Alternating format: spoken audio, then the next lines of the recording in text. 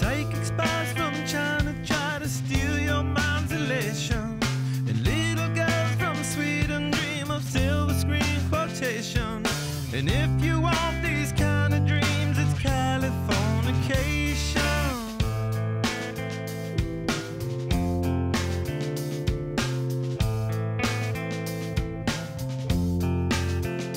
It's the edge of the world in all of Western civilization settled in a final location. It's understood that Hollywood.